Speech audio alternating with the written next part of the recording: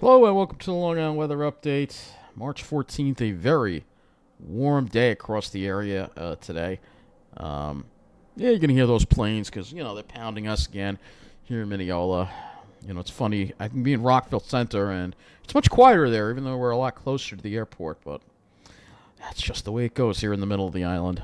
Uh, so you can see here that uh, we have uh, a lot of uh, you some pretty hefty clouds coming in, and this is all part of a frontal system that's going to bring us a very slight chance of showers tomorrow. The models keep bringing the chances of showers down. Uh, but let's first talk about today's weather because it was really, really warm out there. And I just want to briefly go over the graphics that I kind of posted earlier. Um, you can see temperatures. This kind of shows what it was like in Nassau County. You can see mid 70s for uh, much of the North Shore and uh, low to mid 70s, much of the North Shore. Uh, and then as you head toward the South Shore, uh, you can see while we were roasting in the low to mid 70s here in the middle of the island. Uh, if you were in um, Rockville Centre, you were in the 60s uh, and low 60s actually as you headed out toward Wantagh. Um, you can see the sea breeze clearly right on the water, only in the 50s. Um, and further out east, uh, you could see here uh, that uh, temperatures were in the also middle of the island up to the mid 70s in some of these areas here in the North Shore. Um, on parts of the North Shore. However, some areas got like a sound breeze. Lloyd Neck was 53, so if you're right on the water, um, you maybe got a little bit a little bit cooler. Uh, but best breezes were on the South Shore, of course. Mid 50s on the Barrier Islands and low to mid 60s um, on the South Shore there. Islip, uh, Patchogue, those areas getting a nice break. This was in the early afternoon. Meanwhile, there was actually more of a sea breeze in Jersey uh, because Jersey uh, actually um, uh, was actually a little cooler. I mean, uh, low fi- actually had a low 50s on their Barrier Island beaches, and then um, parts like Beechwood was only 55. Uh, downtown Toms River was 65.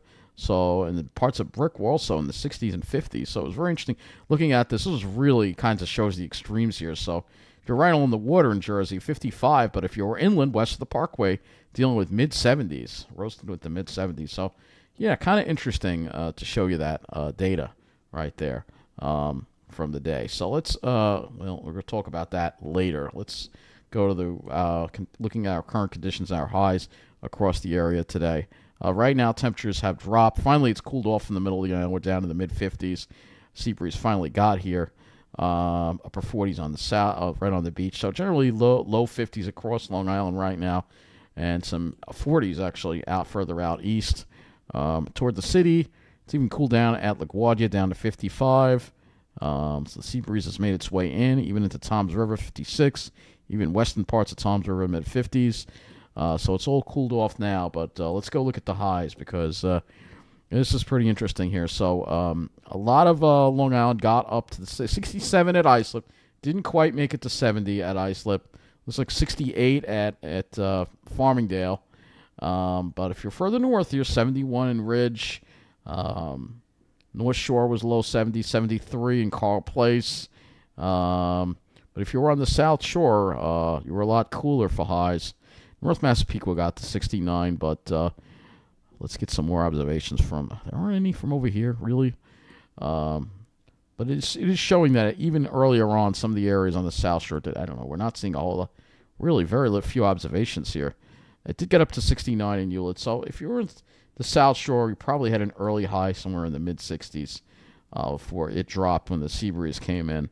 Uh, right on the beach, um, it only it was only in the 50s. Um, going toward the city, you can see again low to mid 70s. And this is kind of interesting looking at Jersey here again. Very interesting here. If you were in Seaside Park, only 57. Uh, but if you were in t- uh, downtown Toms River, 69. Miller Air Park got up to 73. Uh, quite warm in some other areas too. And the further inland you go in the Pine Barrens, Oswego Lake got up to 77 and 80 in Egg Harbor City. Uh, that's that's pretty warm. so, depending on where you were, is a big variation in temperature with the sea breeze. It's always very hard to predict. As far as the lows in the morning go, it did cool down to the mid 30s in a lot of areas, except for the city, um, which had mid 40s. Uh, let's look at our climate data for today. And you see they have a little graphic of the max temperatures. I mean, I could do that too. Um, there are different um, backgrounds I noticed they use here. I think on the on this. I don't know. I'm using this this background. I noticed the Weather Service is using a darker background. I don't know how to get that background, uh, change the background on this. I don't know how to do it. Uh, so uh, maybe there is a way. I don't know how, but I, I like this background because it kind of shows all the towns well and the roads and everything. So uh, anyway, let's go to this. Um, you can see that's their max observed temperatures. That's their map right there that they have they put together. But let's go here and look at the climate statistics for today. Islip made it to 68, the low, uh, and uh, the low was 38. The high was 21 degrees above normal. The low was 7 degrees above normal. That puts us 14 degrees above normal for the day. Um, and uh, Central Park made it to 74. Uh, that's 25 degrees above normal for the high and 18 degrees above normal for the day. Um, JFK Airport, 66. They're on the South Shore, so they had the sea breeze. Uh, but still a high of 18. That high was 18 degrees above normal. Uh, LaGuardia made it up to 72. That's a whopping 23 degrees above normal for the high. Really insane, uh, just insane warmth um, that we've had um, today. Uh, but I don't know if there were any records broken today. Um, the Weather Service hasn't put mentioned uh, any records broken. Let's look at Newark. 75 at Newark. That's 25 degrees above normal. So New Jersey, obviously, the highest reading there. It's insane. 75 degrees above normal. And just for fun, let's go look at the preliminary monthly data uh, just for fun and look at Newark. Uh, and they're running 9.1 degrees above normal. So sites are closing in on almost 10 degrees above normal uh, for the first part. That's just unheard of. That's just crazy. Uh, crazy kind of anomalies that we're talking about here. Uh, but anyway, let's talk about this weather system now that we've talked about the warmth today. Uh, I will, you know, we'll just go look at Wonder Ground for a minute here. WunderMap, and uh, show you uh, some some stations and show you when the sea breeze came through. Actually, we'll first start with Carle Place. All right, Carle Place not showing up. Nothing in Carle Place showing up. All right, we'll show you the Mineola observation here. So. We'll show you when that sea breeze came through. I'm kind of curious just looking at the graphs here. Something I like to do. And you can sort of see when it came through, mid 70s. And you can see how it started dropping as we got towards 6 o'clock. All right. Sea breeze was probably stronger uh, further out in, let's go to North, North Belmore. I'm sure they had a, ni- a much nicer, stronger sea breeze than we did. Um, Yeah, so they peaked into the low 70s, uh, but then they dropped pretty quickly toward the afternoon. So you compare and kind of contrast how the sea breeze affected certain sites. Um, and of course, strongest along the water. So if we're in Babylon, uh, so we'll go to Babylon here. Probably didn't make it out of the low 60s. Let's see. Uh, mid 60s. They did reach the mid 60s though, and they stayed there but then it started dropping right around 3 o'clock there. Yep, you could see that drop right there.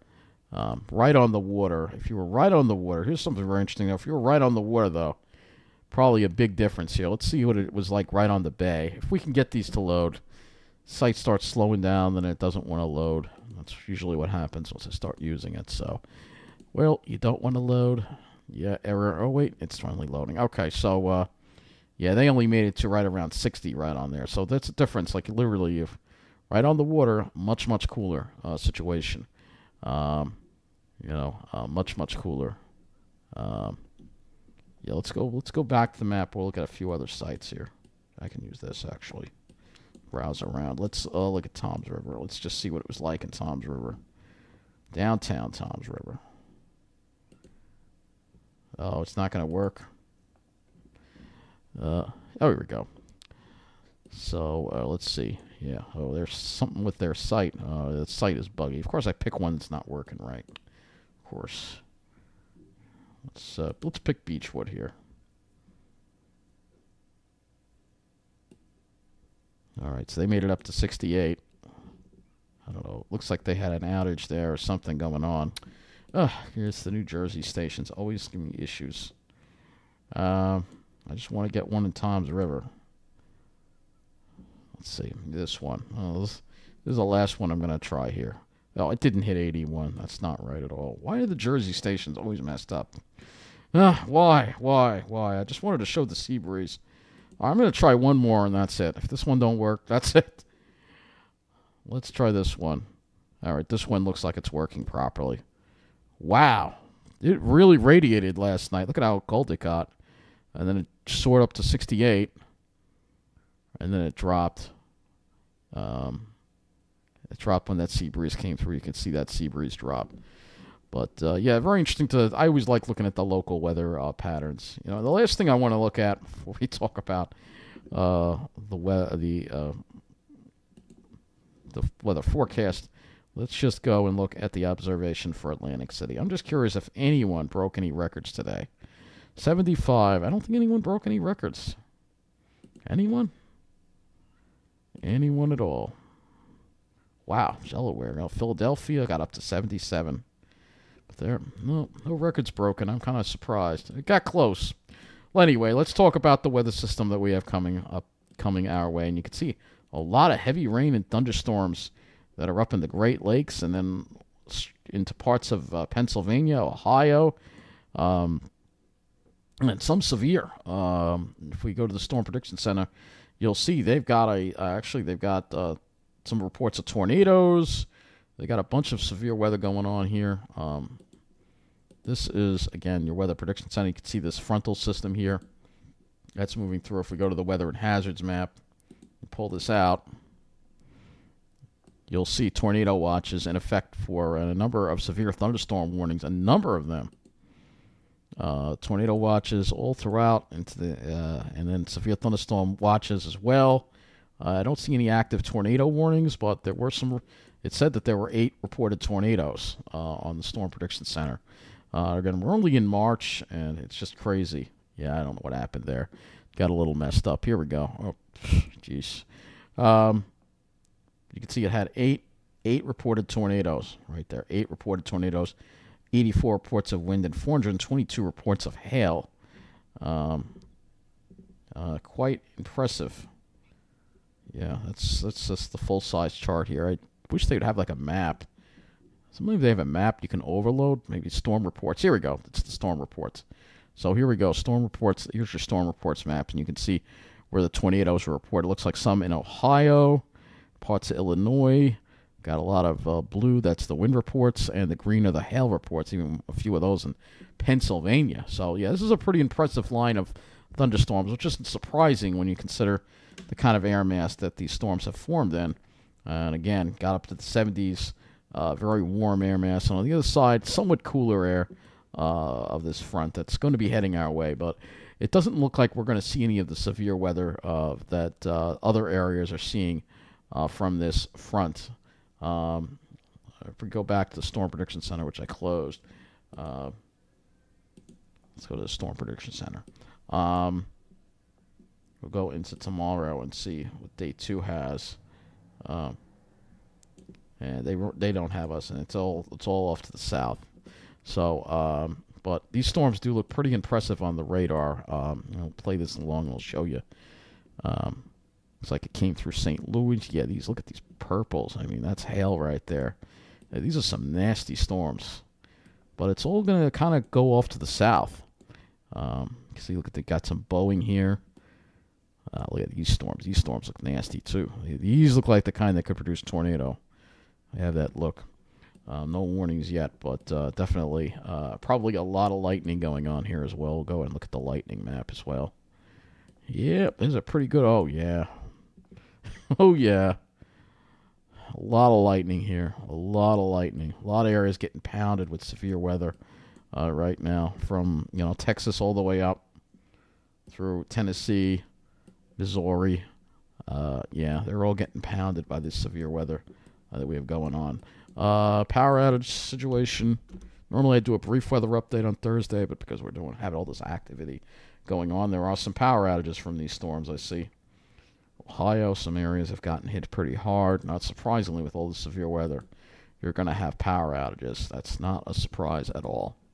Uh, so, now that we've looked at all that, let's go look at the models. And uh, actually, I want to just go to the satellite and just visualize this for a little bit here. So let's go over here. And, look at that. You can really get a good view of this. All that convection firing up here. You can see that Pacific is definitely still influencing this as well. Um, make this a 48 hour loop so you can get an idea of daylight. Really impressive, uh, real impressive burst there. If we go to GLM flash intensity, which will show all the lightning going on.